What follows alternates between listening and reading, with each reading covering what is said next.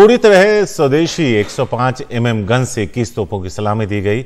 यह पहली बार है कि इस स्वदेशी बंदूकों का इस्तेमाल स्वतंत्रता दिवस समारोह में औपचारिक फायरिंग के लिए किया गया।